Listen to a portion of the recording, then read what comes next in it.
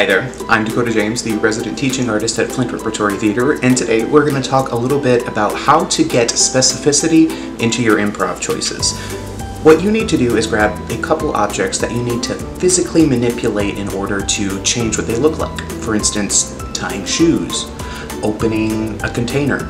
I'll give you a second to grab those objects. I took my own advice and I grabbed a shoe. I'm going to take some time to actually manipulate this shoe that I can tie it the actual way it goes. So, put that there.